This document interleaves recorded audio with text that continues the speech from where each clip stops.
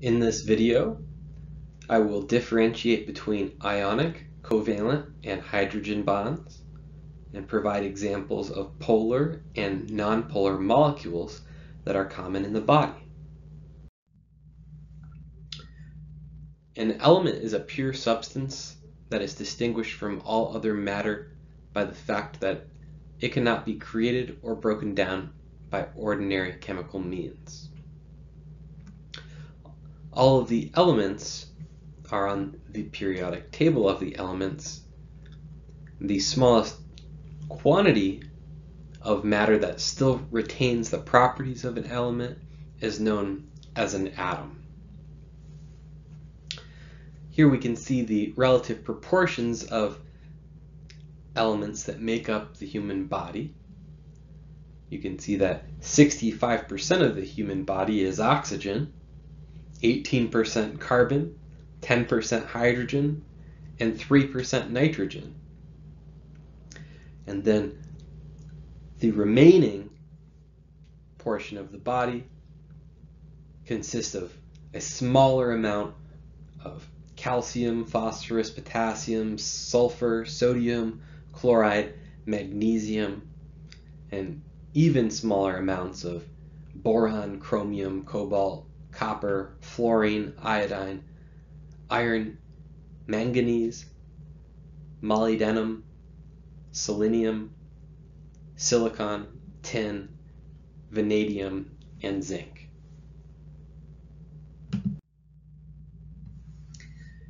The structure of an atom consists of a central region called the nucleus where there are subatomic particles called protons that have a positive charge and subatomic particles called neutrons that have no charge. Surrounding the nucleus are subatomic particles called electrons that have a negative charge. The charge of an electron is equal and opposite to the charge of a proton. The illustration here shows us two different ways of visualizing the distribution of subatomic particles in an atom. In the planetary model, the idea is that the nucleus is in the center containing the protons and neutrons, and the electrons are in orbitals surrounding the nucleus, similar to how the planets are orbiting around the sun. On the right here, we see the electron cloud model. In the electron cloud model, the electrons do not orbit, but instead are spread out into a cloud of negative charge. The electron cloud model may do a better job of explaining modern observations. However, it's still useful for us to think about the location of electrons as occupying orbitals. Here we can see the periodic table of the elements. Elements are organized on the table based on the number of protons in the nucleus. Each hydrogen has just one proton. There is also one electron to balance that proton in a typical hydrogen atom. Helium has two protons, and so you'll notice that the number in the top left, known as the atomic number of hydrogen is 1 and helium is 2. So in helium there's two protons, but there's also two neutrons and two electrons. Carbon, we can see, has an atomic number of 6. So carbon has six protons and six electrons. Typically, carbon also has six neutrons, and so the atomic mass of carbon is 12 atomic mass units because each neutron has an atomic mass unit of 1 and each proton has an atomic mass unit of 1 and electrons have a negligibly very small amount of mass and so we can consider it essentially zero. So a couple other major atoms we'll talk about, of course, include oxygen, where we can see oxygen has eight as its atomic number, so there are eight protons in the nucleus of an oxygen atom. There's also typically eight neutrons, so the mass of an oxygen atom is 16 atomic mass units. Now, if there are eight protons, how many electrons should be in an oxygen atom? Of course, eight electrons would equally balance the eight protons. So similarly, we could take a look at the example of nitrogen, where you can see nitrogen has seven protons. It would have seven electrons to balance that. And there are seven neutrons, giving it an atomic mass of 14.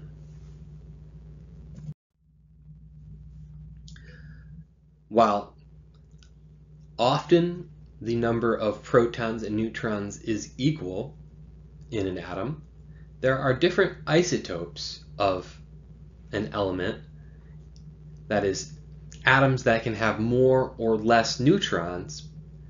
If they have the same number of protons, they are still considered the same element. The most common form of hydrogen is protium, where there's just one proton and there are no neutrons. So one proton and one electron forms a protium atom. But there are two heavier isotopes of hydrogen, deuterium and tritium. Deuterium has one proton, one neutron, and one electron, giving it a mass of two atomic mass units. And tritium has an atomic mass of three because there are two neutrons in addition to one proton and one electron.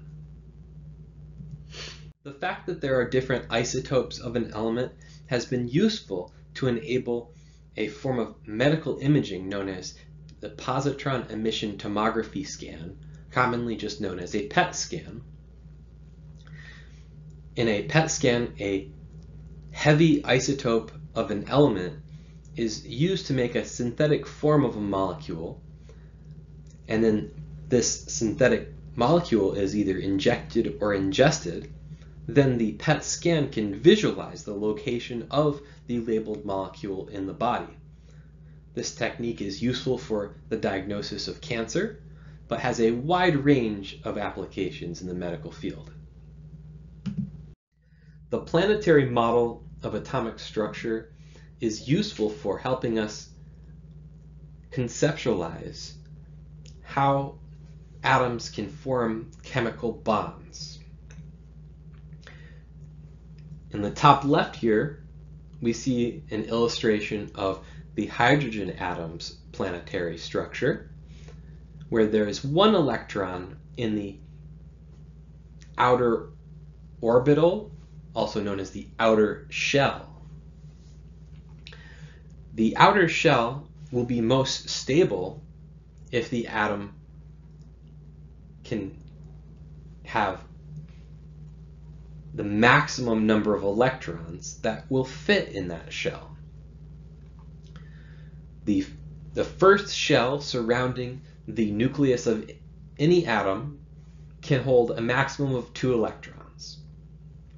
So the hydrogen atom would be more stable if it could accept an electron from another atom or share an electron with another atom. Similarly, if the hydrogen ion were to lose that one electron that it started with, that would also make the hydrogen atom stable. However, the one proton in the nucleus of the hydrogen atom would not be balanced by a negatively charged electron.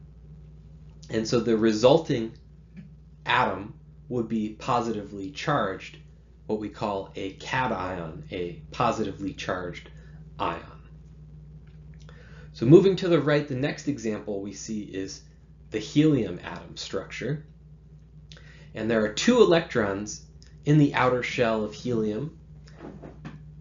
So the outer shell is completely filled with that two electrons, and those two electrons balance the two protons in its nucleus. So the helium atom is very stable and is not likely to form chemical bonds with other atoms.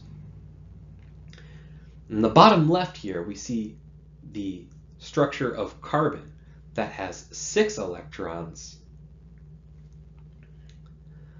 The innermost shell is completely filled with two electrons, but the second shell would be completely filled with eight electrons and only has four electrons. This means that the carbon atom would be more stable if it was able to accept or share four more electrons to fill its outer shell. In the bottom right here, we see the example of neon. So neon has 10 electrons. There's two filling the inner shell and eight filling the outer shell. And so because the outer shell is filled, there are eight electrons in the outer shell, and it could not accept any more electrons without moving to a third shell. Neon is very stable and is not likely to form chemical bonds with other atoms. Chemical bonds hold atoms together to form molecules. Chemical bonds involve the electrons being either shared between two atoms in a molecule or electrons may be lost from one atom and taken by another atom to create ions with opposite charges and then these oppositely charged ions can be attracted to form a bond. We'll start with the example of ionic bonding, looking at the familiar molecule sodium chloride, or table salt. Sodium will have 11 protons and 11 electrons equally balance that 11 protons. That gives two electrons in the innermost shell, eight electrons in the middle shell, and one electron in the outermost shell. But the outermost shell could contain eight electrons total. If we look at the chlorine, we will see that there are 17 protons and 17 electrons, two electrons in the innermost shell, eight electrons in the middle shell, and seven electrons in the outermost shell. But the outermost shell could contain eight electrons, and that would make the resulting atom more stable. When sodium and chlorine are placed together, chlorine will take the electron from the outermost shell of sodium in order to fill its outermost shell the resulting ions are more stable because their outermost shells are completely filled with electrons. The net positive charge of sodium is attracted to the net negative charge of the chloride ion, and This attraction between the positive and negative charges creates what's known as an ionic bond. Ionic bonding holds the sodium ions and chloride ions together in the crystal structure, forming a cube shape typical of a salt crystal. This ionic bonding is a very strong attraction between the complete positive and negative charge of the sodium ion and the chloride ion. A atom or molecule with a negative charge is known as an anion, so the chloride ion is an anion. The sodium ion with a positive charge is known as a cation. And cations and anions are attracted to each other to form ionic bonds. A covalent bond occurs when electrons are shared between atoms. And a nonpolar covalent bond is when the electrons are shared equally between atoms. If the two atoms are the same, typically this would form a nonpolar covalent bond. We have an example on top here of two hydrogen atoms forming a nonpolar covalent bond, each sharing one of the electrons from the other to create a stable outer shell that's filled with just two electrons. Next, we can see the example of two oxygen atoms bonded together to form an oxygen molecule. Because there are six electrons in the outer shell of oxygen before the bond, two nonpolar covalent bonds are needed to fill the outer shell of each oxygen atom. This creates a double nonpolar, nonpolar covalent bond where four electrons total are shared between two atoms. On the bottom, we can see an example where two different atoms form a nonpolar covalent bond. Carbon and oxygen will bond to form a nonpolar covalent bond because the attraction of the nucleus for electrons is roughly equal for carbon and oxygen. However, carbon only has four electrons in its outer shell and will need to share four more electrons to fill its shell with eight total electrons. Each oxygen atom will contribute two electrons, forming a double bond. And so the carbon is double bonded with each oxygen atom, forming two double bonds. But each of those double bonds is a nonpolar covalent bond because the electrons are shared equally between the carbon and oxygen atoms. In contrast to a nonpolar covalent bond, a polar covalent bond occurs when one atom attracts electrons more strongly than another atom. Although the electrons are shared between the atoms to form a covalent bond, the electrons spend more time next to one atom, creating a partial charge. The example we see here is oxygen and hydrogen forming a polar covalent bond. Oxygen, with its eight protons, attracts electrons more forcefully than hydrogen with its one proton. Therefore, a partial negative charge forms on the oxygen and a partial positive charge forms on the hydrogen. The molecule we're looking at in this illustration is a water molecule where there are two polar covalent bonds, one between each hydrogen with the oxygen atom.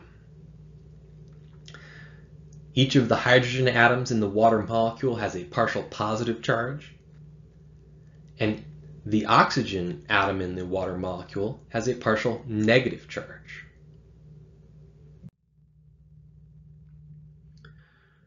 When we have polar covalent bonding, the partial charges that result can then participate in another type of chemical bonding known as hydrogen bonds.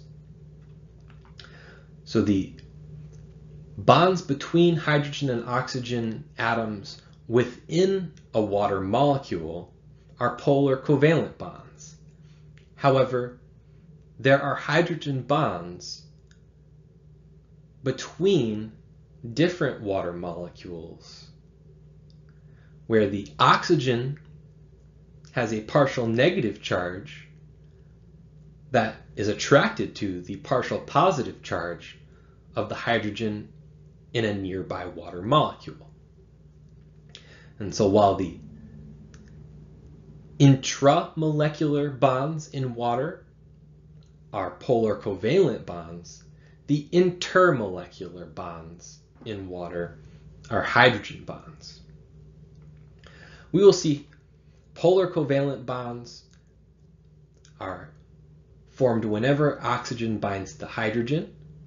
Similarly, polar covalent bonds form when nitrogen binds to hydrogen or when sulfur binds to hydrogen.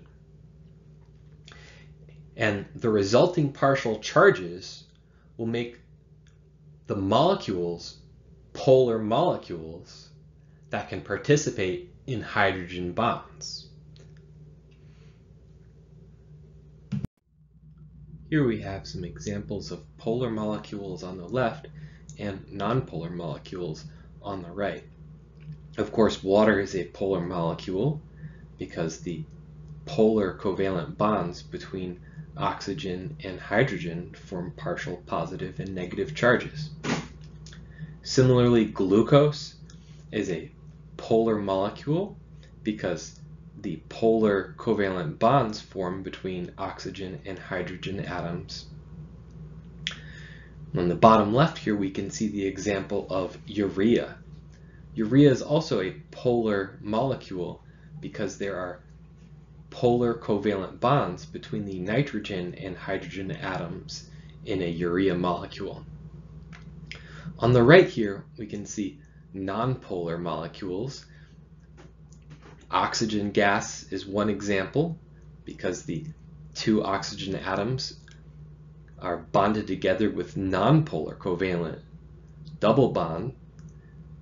The oxygen molecule does not have any partial positive or negative charges. The electrons are evenly distributed throughout the molecule. Similarly, carbon dioxide has only nonpolar covalent bonds and therefore an equal distribution of electron density throughout the molecule creates a nonpolar molecule. And in the bottom right here we see the example of a triglyceride or a neutral fat. So neutral fat or fat, this is the chemical that we commonly refer to as fat, whether it's a solid fat like the animal fat you see around the edge of your steak, or if it's the fat that forms a liquid form, such as vegetable oil. Either way, the molecules are triglycerides, which have long chains of carbon bound to hydrogen. And then the, those chains are, are bonded to a backbone of carbon through oxygen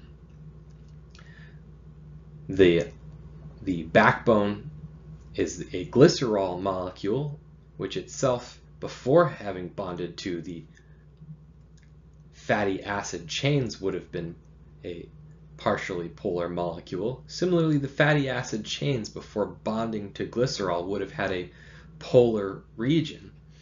But once the, the glycerol is bound to three of the fatty acid chains, all of the structure is now a nonpolar molecule.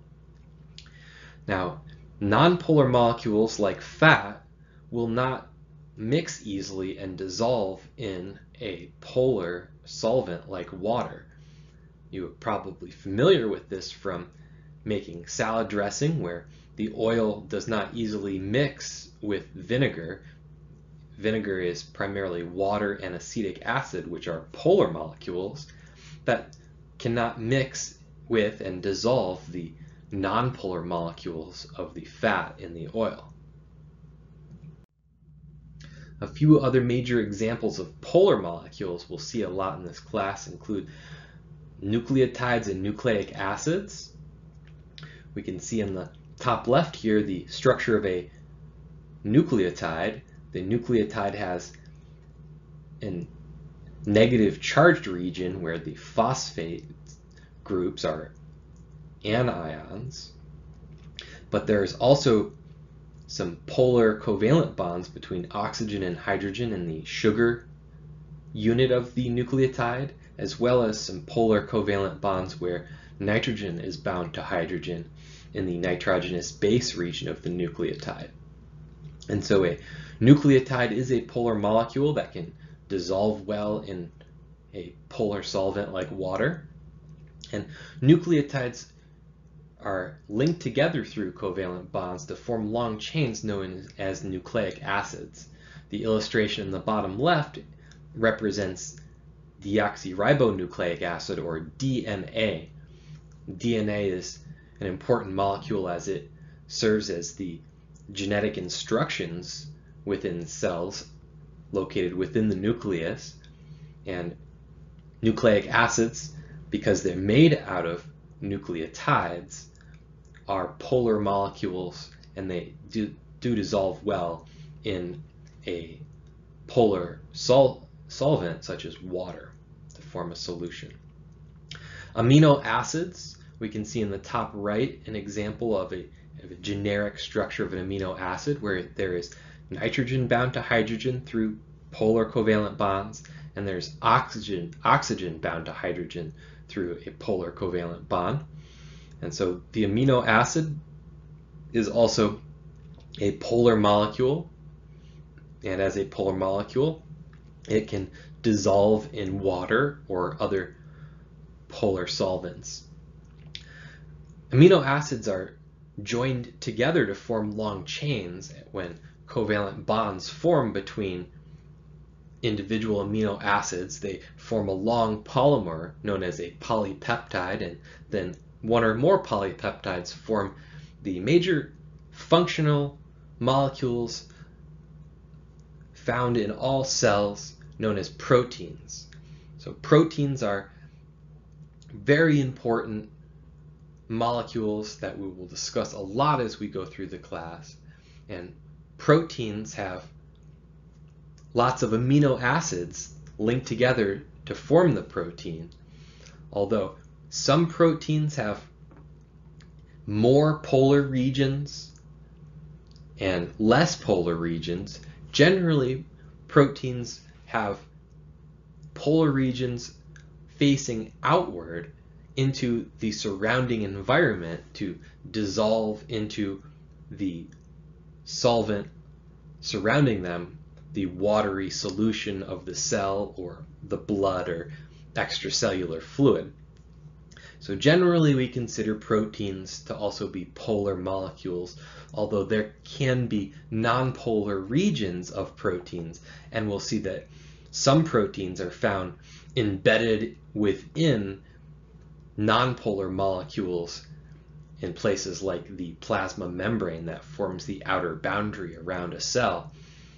The nonpolar regions of the protein will be able to mix well with nonpolar molecules, whereas the polar regions of the proteins will mix well with polar molecules like water.